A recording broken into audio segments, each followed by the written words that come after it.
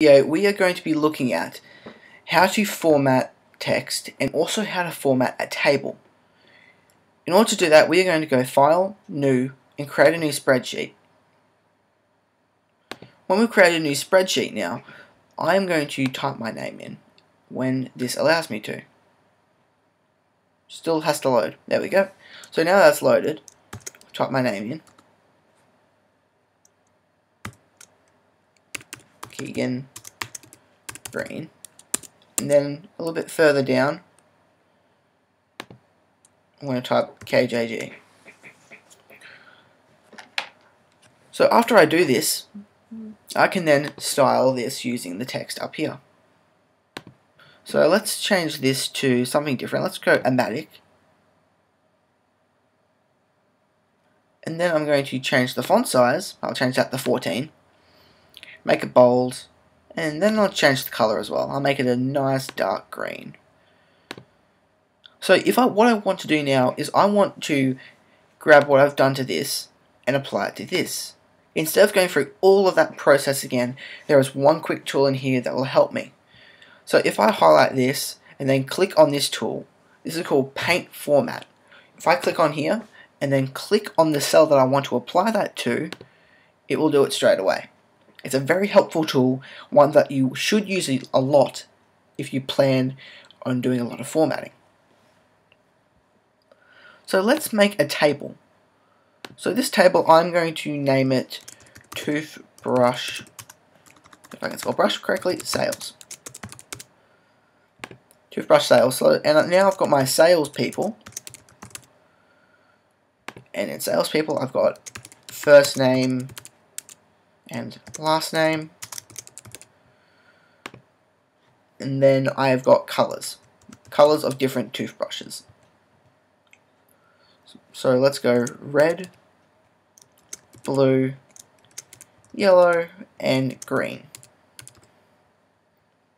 So let's put some names in. I'll put my name in, so Keegan Green.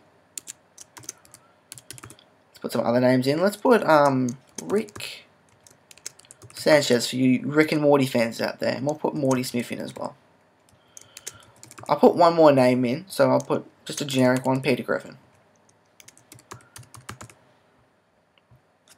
So the first formatting I'm going to do is I am going to make each of these colors have a fill. The fill tool is up here. So what I can do here is I can just change it to a light color because when you print it off, you don't want the colors to be too dark, otherwise it could cause issues with the way your color is represented when printed.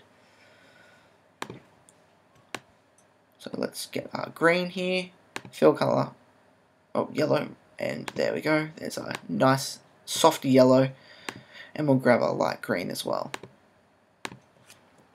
Okay, so once we've got that, we can then use another tool which is called merging.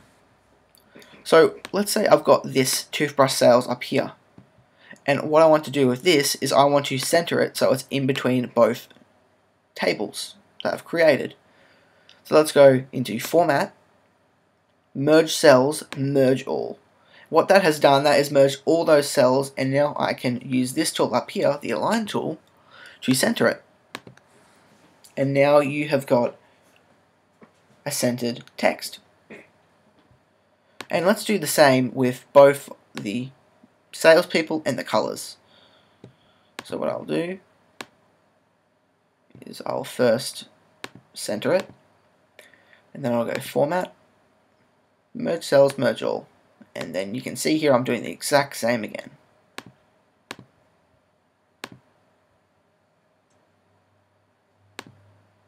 Okay, now that I've got all that, once you print something like this off, this is what it will look like. It won't have any cells, it will just show what you have printed.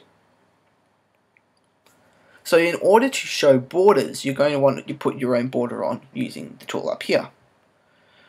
So the best way to do this is there is a few different ways within this borders selection tool where you can create a border. So what I'll do is I'll show you the generic one, which is just all borders.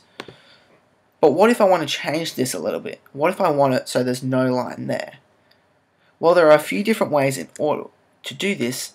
One way in which I like to do this is to then go like this. So this tool here shows all outside borders and then from here I can create it to how I want it to be. So let's go into here and let's put this on again for this area here. So I don't want that to be like that over here. So what I'll do is I will then just do that one more time.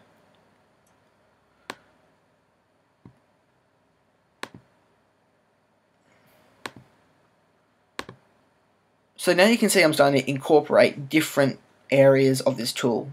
So I use this tool here and what that did was that put that line there. So as you can see now, I do not need that line going down the middle to separate the first name and the last name because it isn't needed. If I wanted to get rid of that, it's very simple. I just go here, go back up to here, click this again, and you can see it's still there, but what you want to do is you actually have to undo it. So, and what I will do is I'll just leave that as is. So now that we've got that, we have managed to successfully format our table. And I will just make sure that it's like that. And you can see that we have something that looks presentable. That is all for this video. We will reconvene in the next one.